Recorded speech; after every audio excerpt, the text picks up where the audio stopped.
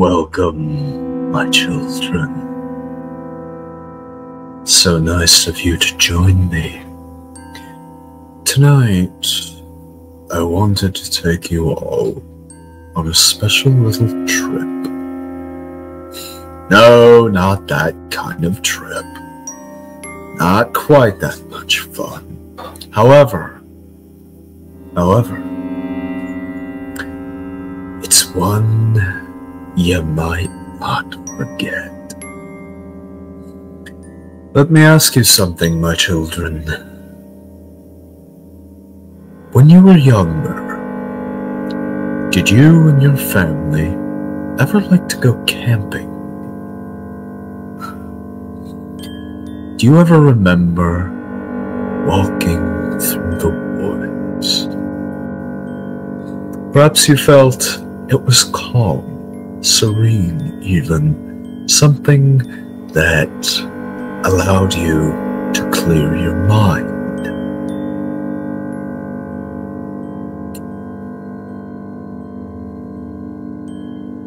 Perhaps the sounds of nature were soothing, the wind playing its tune through your ears. What if that tune was screaming? Yes. What if you feared for your life in those woods? And what if your attacker was neither bear nor man? An unseen predator.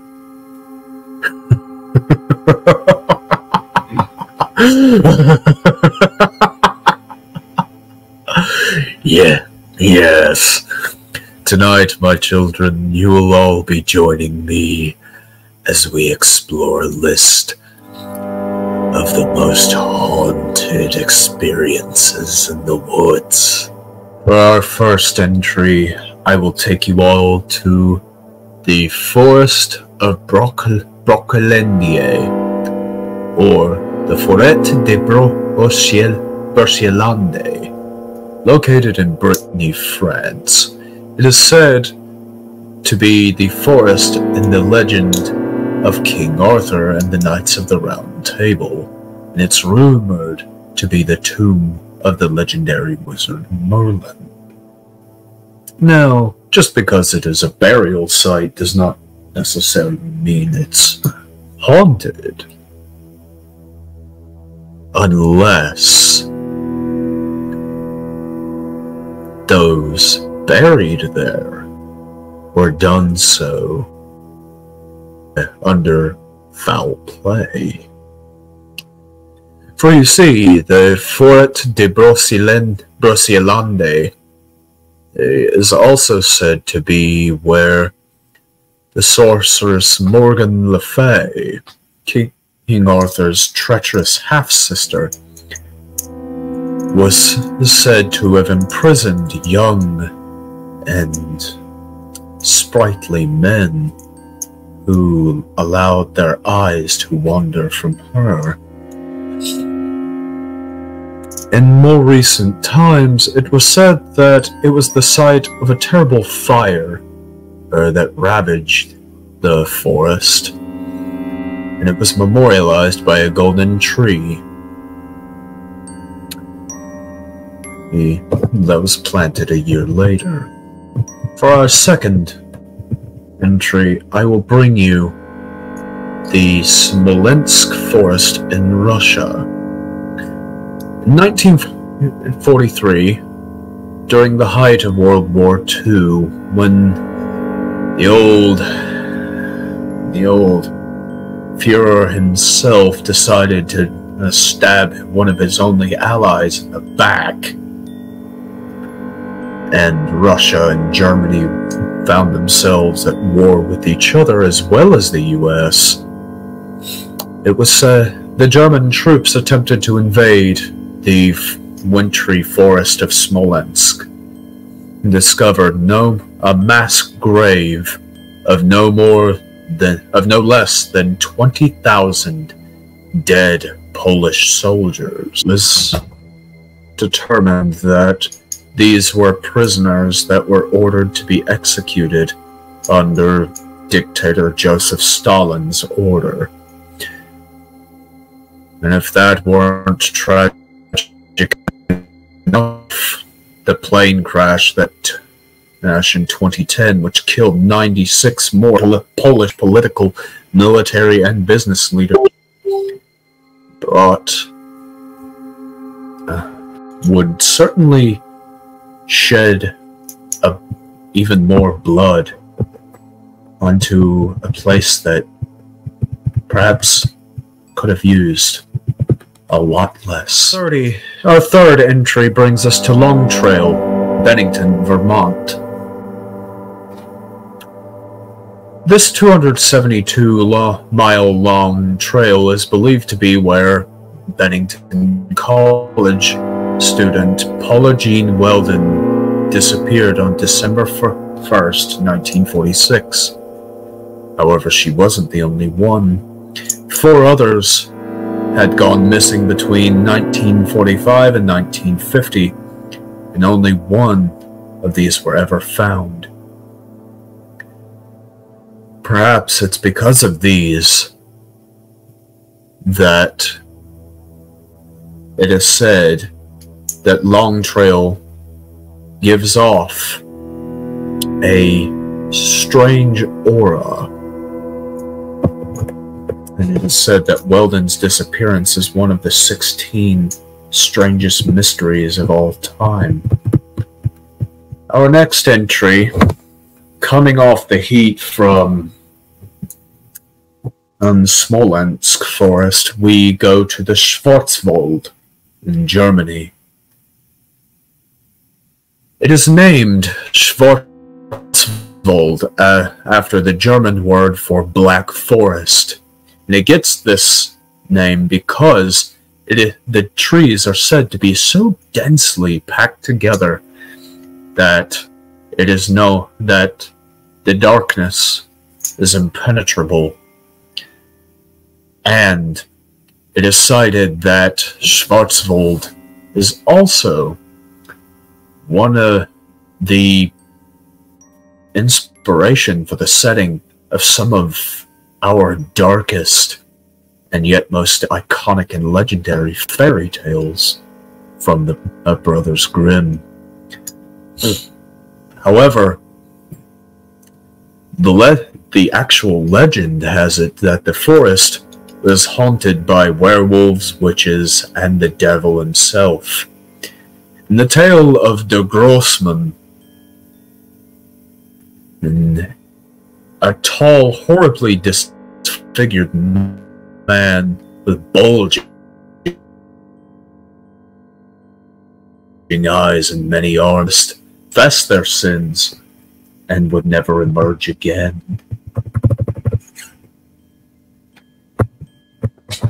However, even this does not compel heir to our honorable mention of the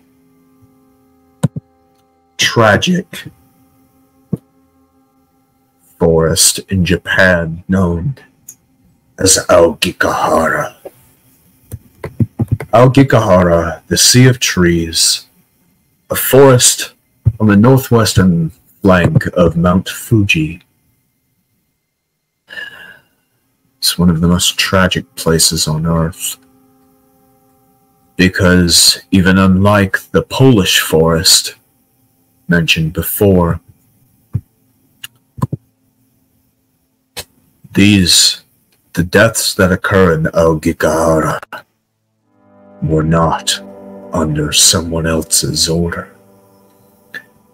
Troubled youth come to Aokigahara. They may admire the scenery a little maybe in the backs of their minds, there may be a hint of regret, a hint of hesitation.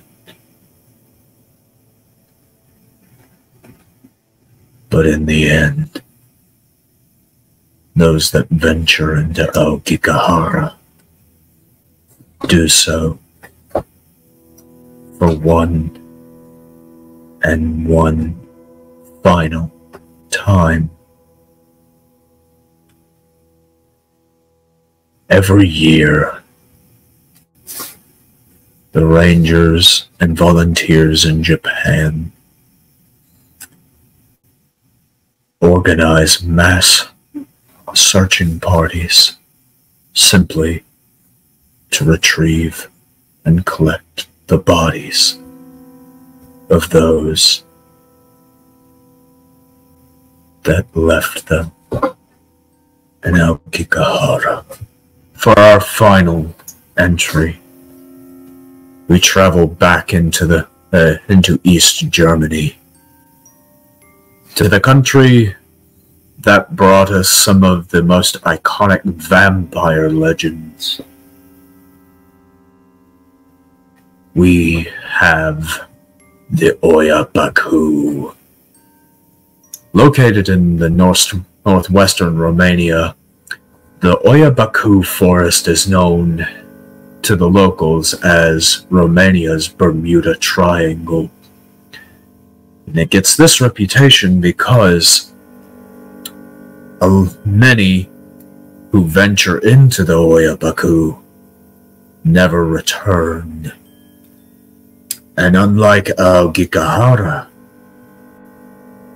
it is unclear whether those that venture into the Hoia Baku do not return because they meet their demise, or because some unseen and unknown entity takes them. Like the account of a shepherd who is said to have disappeared with a flock of 200 sheep.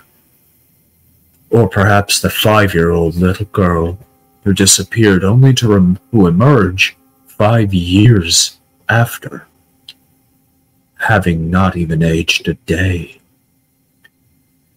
The Hoia Baku is said to also be the site of many UFO experiences in that part of the world.